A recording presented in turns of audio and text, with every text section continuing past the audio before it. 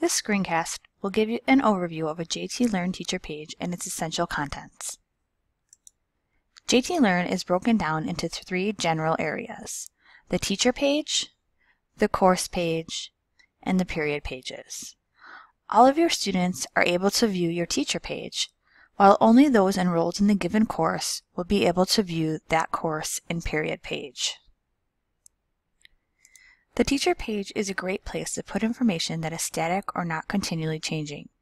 Students may not often use your teacher page on a daily basis, but they may reference it for office hours, your contact information, or certain policies. Your teacher page is also the only place you can insert Feature Builder. Please watch the Feature Builder screencast to learn how to do so. Feature Builder must be placed on your teacher page because this page oversees all the other pages. You can also add the course schedule grid on your teacher page so that students can easily navigate back to their own courses. And finally, go ahead and add any personalized items on your teacher page, such as images, personal photos, or a general bio.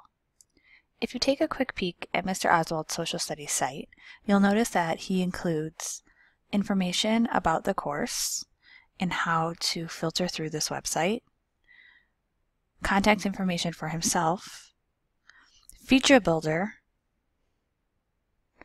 and the class schedule grid. He also includes some images, a Twitter feed to personalize his page a little bit more. You can now go ahead and get started on your teacher page.